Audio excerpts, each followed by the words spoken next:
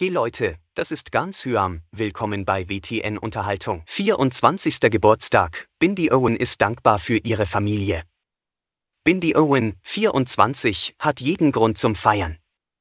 2006 starb der Crocodile Hunter Steve Owen, Kreuz 44, bei einem tragischen Unfall, bei einer Expedition wurde er von einem Stachelrochen gestochen, woraufhin Steve wenig später an den Folgen des Stichs starb. Der Australier hinterließ seine Frau Terry, 58, und die Kinder Bindi und Robert, 18. Obwohl Bindi ihren Vater heute noch schmerzlich vermisst, genoss sie jetzt ihren 24. Geburtstag. Dabei machte sie vor allem eins deutlich: Bindi ist ihren Liebsten dankbar.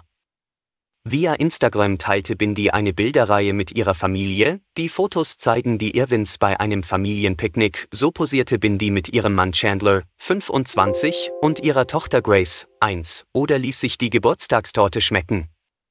Unter dem Post schrieb die Dancing with the Stars Teilnehmerin dankbar, das letzte Jahr war gefüllt mit enormem Wachstum, herausfordernden Zeiten und vor allem mit Liebe. Ohne dass Sie es merken, hat mir meine süße Familie in diesem Jahr durch ihre außergewöhnlichen Taten jeden Tag die größten Geschenke gemacht. Außerdem fügte Bindi noch einige Zeilen hinzu, in denen sie sich direkt an ihre Liebsten wandte.